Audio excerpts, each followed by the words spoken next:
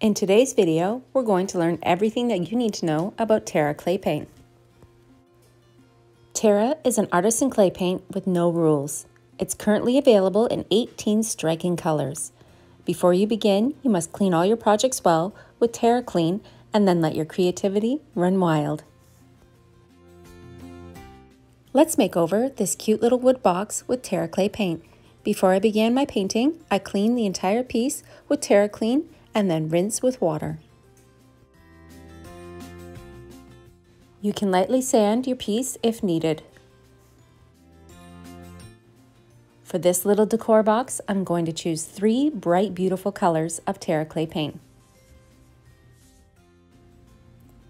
Terra Clay paint is low VOCs and non-toxic. Each color is beautiful and very highly pigmented. When using Terra clay paint, it's recommended to use natural bristle brushes. You can create texture by applying thicker or thinner coats and using tools such as your spatula, fingers, or whatever your heart desires. When building layers of Terra clay paint, it's important to let your first coat dry 2 to 24 hours depending on the thickness of your paint before applying the second coat. I love to use my natural bristle brushes, even a chip brush, to apply my paint in a textured finish. I like to stipple it on, drag it, spray it with water. The options are endless.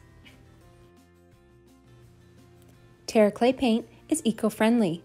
It contains low VOCs and dries with a beautiful matte finish. This paint is very easy to blend. It's definitely an artisan paint. Don't be afraid to get your fingers in there and get a little bit messy. Dry times for Terra Clay paint are at 77 degrees Fahrenheit and 50% relative humidity. Cool temperatures, high humidity, thickness of your paint, or poor ventilation could extend your dry time. Terra Clay paint can be reconstituted with water.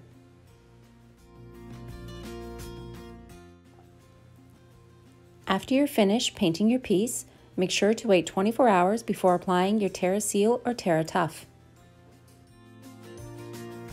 You'll find as your Terra Clay paint dries, it's going to be a little bit lighter in color.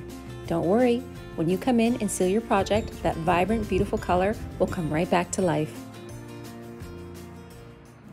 Terra Clay paint is very easy to simple wet distress. Using a rag or paper towel, you're able to pull back that paint and show the wood that is underneath. This gives a much more natural look versus using sandpaper. Let's use our Foam and Dandy and our Terra Seal to lock in that vibrant color. Using Terra Tough or Terra Seal, you can easily apply this clear coat to the top of your project. After your clear coat has been applied and dries, you can come in with any of the gilding waxes to add a little sparkle and shine to your project. Using Terra Seal will provide your project with a beautiful matte finish.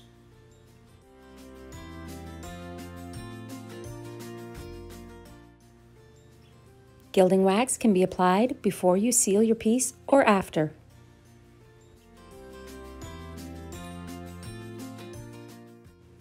Another option for sealing your piece would be Terra Tough. Terra Tough will give you a little bit more of a satin finish along with having a durable, water-resistant top coat. Colors used for this project, pistachio, malachite, and cerulean blue.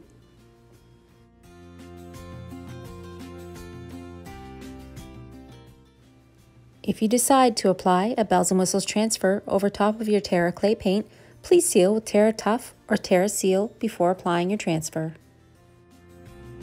I hope you enjoyed my makeover today using Terra clay paint. This beautiful no rules paint is available in 18 vibrant colors.